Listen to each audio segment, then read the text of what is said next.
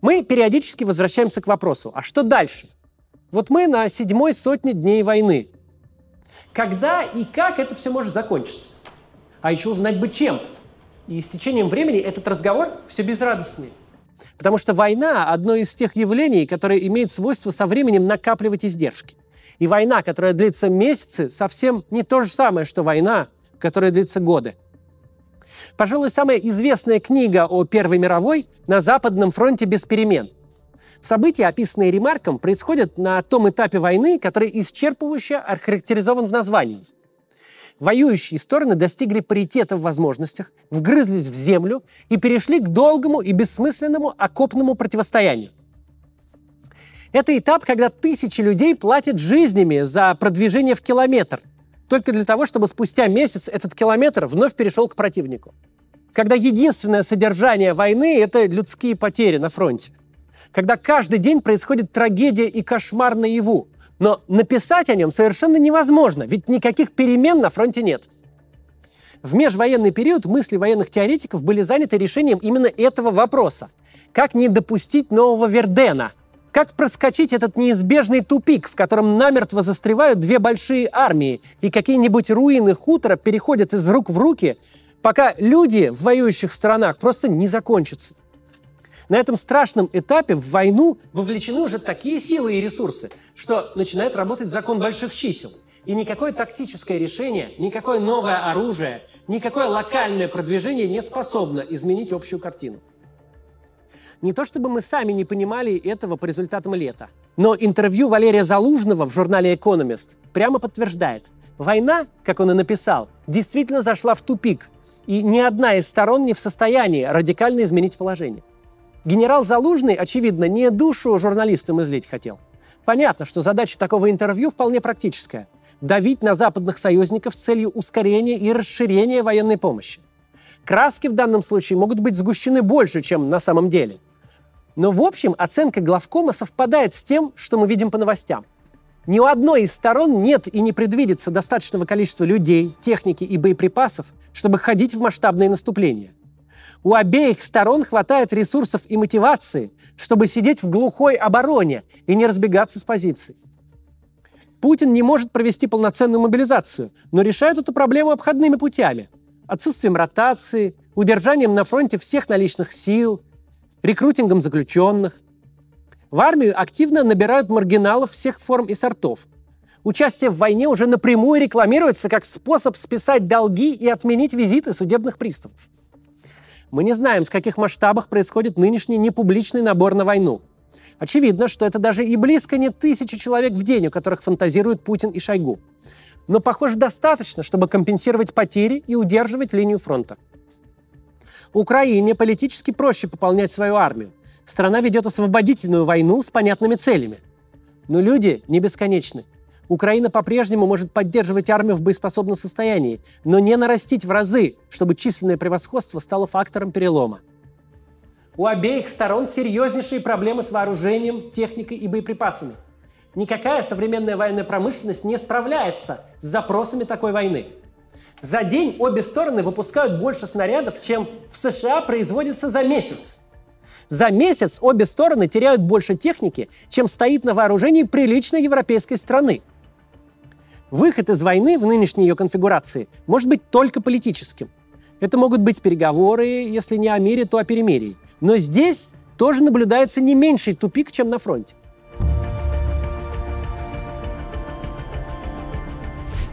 У обеих сторон слабые переговорные позиции. И дело даже не в том, что любые переговоры о перемирии или хотя бы прекращении огня де-факто фиксируют оккупацию части украинских территорий. Да, это проблема сама по себе. Любой статус-кво тем сложнее изменить, чем дольше он сохраняется. Одно дело возвращать себе территории, которые фактически являются зоной боевых действий. И совсем другое – отбивать те земли, где уже установилась стационарная власть и течет обычная жизнь. Понятно, что не будет никакого международного признания силой пририсованных границ. Но год за годом оккупированные части украинских областей будут все ближе к статусу Крыма. Никто не признает, но никто и особенно оспаривать не хочет. Основная же проблема в том, что Владимир Путин – сторона непригодная для переговоров. Ведь у Путина уже был тот самый статус-кво. Он бесплатно захватил Крым. Он устроил внутри Украины территорию беззакония. Донецк и Луганск с окрестностями. Почти 8 лет эта ситуация не двигалась ни в какую сторону. Все привыкли так жить. Мир и даже сама Украина плюс-минус смирились с тем, что решать эти болезненные вопросы будут после того, как Путин уйдет от власти. Что вести переговоры нужно будет уже с каким-то другим правительством.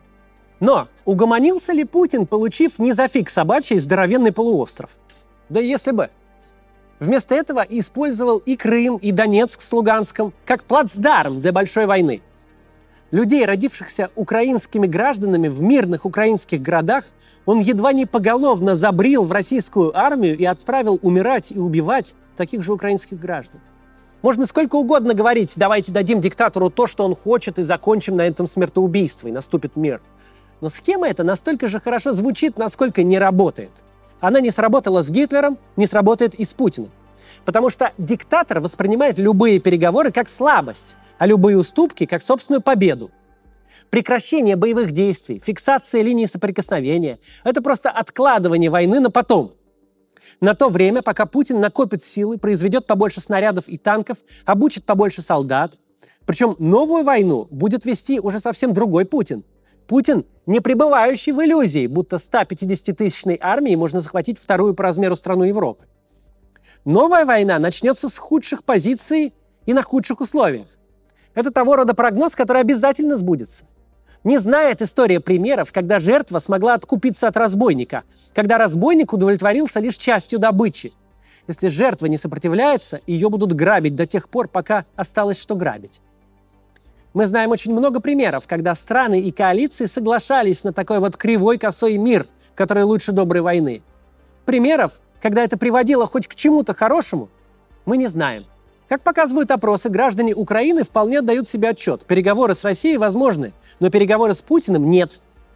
Не потому, что он рожей не вышел, а потому что в лучшем случае это занятие бессмысленное, а вообще-то самоубийственное. Казалось бы, Путин должен быть кровно заинтересован в переговорах. Война непопулярна, общественное мнение с большой радостью примет ее окончание на любых, в общем-то, условиях. Никому и даром не нужны никакие победы. Люди до предела устали. Не без основания опасаются мобилизации после выборов. Остановка войны – это лучший предвыборный подарок. В этом нет никаких сомнений. Это так, да не так. С перспективой перемирия у Путина не меньше проблем, чем у Украины. Первая и главная проблема с войны разом вернутся все те, кого Путин туда отправил. Сотни тысяч мужиков, которые месяцами сидели по шею в жидкой грязи, которые на собственной шкуре ощутили отношение российского государства к собственной армии. Все таланты генералов, всю коррупцию, все вранье и очковтирательство. Вернутся люди, которым вчера говорили, что нужно непременно сдохнуть за Авдеевку, город с довоенным населением в 30 тысяч человек. А сегодня сказали, у нас отмена – Жизнь этих людей изменилась навсегда. Их новые социальные и профессиональные навыки никому не нужны. Вернутся они в никуда. В страну, которая знать не хочет, что они пережили. В страну, где никто не собирается им платить по 200-300 тысяч за то, что они такие красивые и героические ветераны. Если ты был до войны грузчиком за 20 тысяч, ты и будешь грузчиком за те же деньги. В лучшем случае. Ведь опыт выстуживания простаты в ледяном окопе без термобелья ни в какое резюме не подошьешь. Вернувшихся с войны ждет нищета и социальная депривация. Настроения в российской армии не являются секретом. Их публично выражает Z-Telegram, который со второго месяца войны существует в режиме бесконечного нытья. Но пока все эти люди рассажены по окопам и ходят там в какие-то штурмы, они для Путина безвредны. Их слезливые видеообращения можно игнорировать, а особо ретивых посадить на подвал или отправить под украинские пулеметы. Пока армия сидит на фронте, совершенно без разницы, как она выглядит. Можно все социальное дно туда слить. Просто как в ночной дозор из «Игры престолов». Зеков, бандитов, пьянчук с долгами. Всех тех, кого в русском языке метко называют непутевыми. Можно как угодно с ними обращаться, потому что это такое зазеркалье, такой край теней, куда никому не хочется заглядывать. Но возвращать этих людей назад – очень плохая идея для диктатора. Очень плохая идея вернуть домой армию, не солоно хлебавших. Очень плохая идея вернуть сотни тысяч мужиков, которым обещали, что они склад в тылу будут сторожить, а отправили на передовую. И теперь, спустя год жизни в окопе, им действительно останется только склад сторожить за деньги, которых не хватит на лекарства для отмороженных почек. Мы знаем, что случилось с ветеранами Донбасса. Самых буйных перебили, непонятливых пересажали, понятливые спрятались и заткнулись. Но там речь шла о тысячах, о количестве, с которым полиция и спецслужбы справились без проблем. Здесь масштабы на порядке больше. Вернуть в Россию, которая Херсон на карте-то не найдет, ту Россию, которая за него гибла, опасный эксперимент с непредсказуемыми последствиями. Нет никаких сомнений, что Путин и его окружение прекрасно это понимают. И что с их точки зрения те, кто на войну уехал, там должны и остаться. Ровно поэтому никто и не переживает за социальный состав армии. Нет никакой опасности в освобождении десятков тысяч осужденных за насильственные преступления. Нет никакой проблемы доверить им оружие и научить им пользоваться, если не предполагается возвращать их назад живыми. Для Путина гораздо выгоднее, чтобы его армию перебили в СУ, чтобы самому не пришлось. А значит, война должна продолжаться. Неважно в каком виде. В виде отчаянных штурмов, которых называют мясными, или сидения по окопам. Война просто должна идти. Ее участники просто должны сидеть там, где сидят. Как долго им воевать?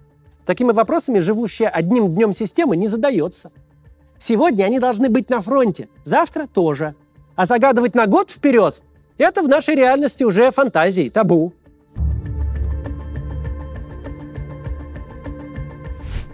Возвращение армии домой – это частный случай куда более объемной проблемы. Окончание или приостановка войны – это конец той чрезвычайщине, от которой люди страшно устали. И мирную жизнь все примут с радостью. Но как только радость закончится, тут же обнаружится множество проблем. Окажется, что бюджет больше не тянет расходы военного времени, что та фантастическая занятость и зарплаты, к которой мы уже успели привыкнуть, сотрудники военных и околовоенных предприятий, стране больше не по карману и не нужна – что продукция Ивановской текстильной фабрики, сшившей больше трусов за последний год, чем за минувшие 20, снова никому не нужна.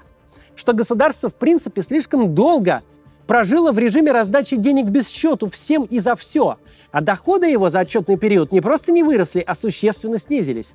И теперь приходится быстро резать косты. Война, с политической точки зрения, кровавое шоу, которое заслоняет собой все. И все собой оправдывает. Когда же она заканчивается, и мозги у людей чуть-чуть стабилизируются, обнаруживается, что проблемы, которые были до 24 февраля, не просто никуда не делись, к ним прибавилось много новых. Война для горячих ее сторонников, для противников, для тех, кто от нее отгородился, это искаженная реальность, подобное состоянию опьянения.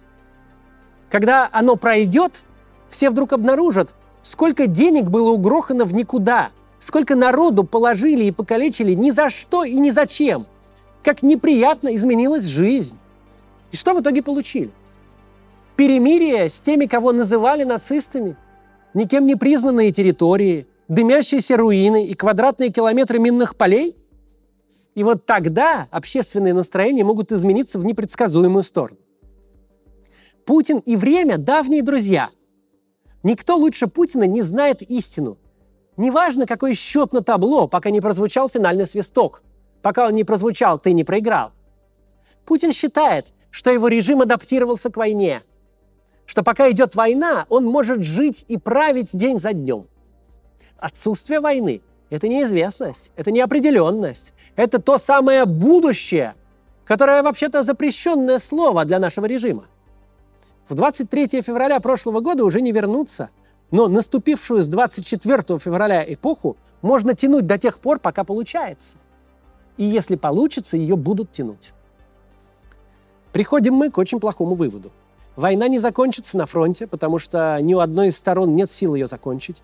При Путине она не закончится политически, потому что ни у одной из сторон нет на это возможности. Этот вывод не нов, но сейчас он более чем очевиден – чего бы там ни думали западные союзники Украины, как бы ни менялось общественное мнение по обе стороны фронта, но реалистичный разговор будет возможен только с таким российским правительством, которое сможет себе позволить жизнь без войны, и только с таким, от которого Украина сможет ожидать выполнения обязательств. И то, и другое – это не Путин. Понятное дело, что российские элиты давно и с большой радостью хотят отпетлять.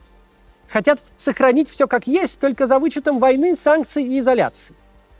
Но нам придется ждать до тех пор, пока до них не дойдет.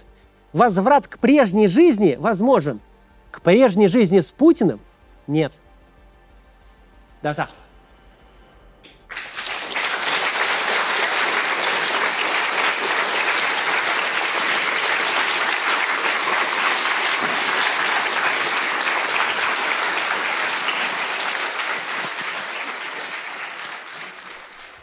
Приглашаем вас на живые выступления Максима Каца. Вы сможете увидеть закулисную жизнь канала и запись ежедневного ролика, а во время общения с залом сможете задать свой вопрос Максиму. Лимассол, Амстердам, Вена, Тель-Авив, Цюрих, Париж, Рига и Милан. Билеты на сайте maximkatz.com.